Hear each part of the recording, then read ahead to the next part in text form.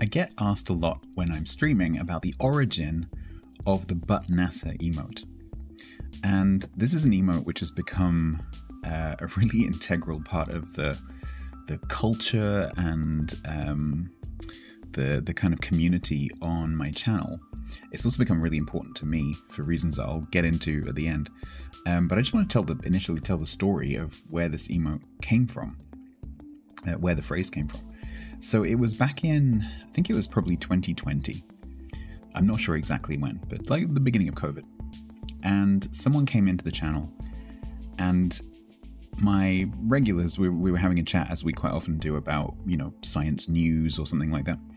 And we were talking about the fact that um, some some data from uh, the Cassini mission had been analyzed, and that the scientists working on that data had discovered that there were organic molecules um, coming out of Enceladus, which is this moon you can see next to me.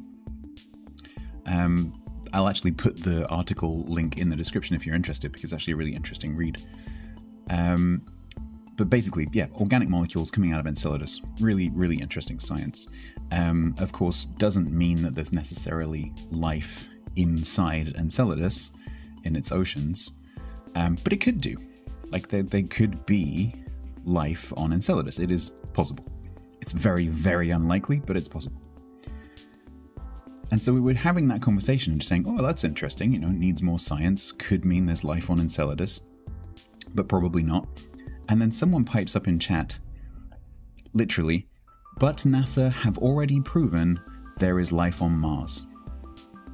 And when I usually describe this story, I usually think of it as like the the Wild West saloon, you know, and then the old movies where um, you know the baddie comes in through the through the the shutter doors, and uh, you know like the pianist stops playing the piano and the the the barkeep like puts down the bottle that they're that they're you know servicing and and bring out their shotgun. And everyone stops playing cards you know it felt a bit like that where everyone's like what and and so of course then I and some other people in, in chat started to question this person. Like, what do you mean that Mars has life? What, what do you mean that NASA found life on Mars? Because that's obviously not true. And um, I, I, suspected I knew what they were referring to because there was um, years ago there was a, a, a photograph, uh, a, micros- microscope photograph that was taken on Mars by one of the rovers that looked like some kind of filament and a lot of people were like, oh, maybe it's organic. Same sort of thing as the Enceladus moon thing, right? So it might be life, it's probably not life, but it could be something lifelike. And um, and so yeah, this person was absolutely adamant that that NASA had proven that there was life on Mars. But we we just kept asking them, okay, that's a really interesting claim. Where's the evidence? Because if if NASA had proven that there was life on another planetary body other than Earth, this would be the biggest news story humanity had ever, uh, you know, broken. And we would all know about it because it would be everywhere and it would massively change our civilization, our philosophy, religion, like loads of things would be impacted by it. So where is your evidence? Like, do you do you have a scientific paper? Do you have a link? Do you do you have a news article, a tweet, like anything? and I was expecting them to go away and find a link to this filament picture. But they didn't. They just kept saying over and over again, but NASA's already proven it. And we would say again and again, well, no, they haven't. Do you have any evidence that they have? Because if they have, that would be really cool. And then, no, but NASA has already proven life on Mars. And this went on for quite a while, and they never came up with any evidence or links or anything. And um, and the last thing that this person said before they stopped talking was, "But NASA." But NASA. And then they left. And so this has become on my channel a bit of a almost an in joke, but it's actually really serious for me because I'm a massive proponent of critical thinking and teaching critical thinking and making sure that I use critical thinking as much as possible in my day to day life. I'm really trying to understand things, analyze things, try to know as many true things and as few false, false things as possible.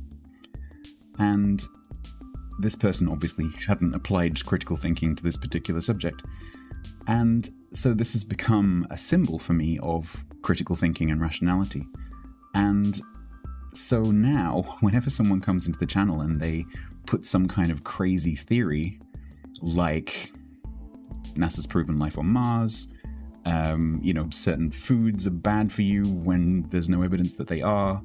Um, in World of Warships, which is my main game on Twitch, um, the fact that uh, skill and win rate are not linked, that's a very common one.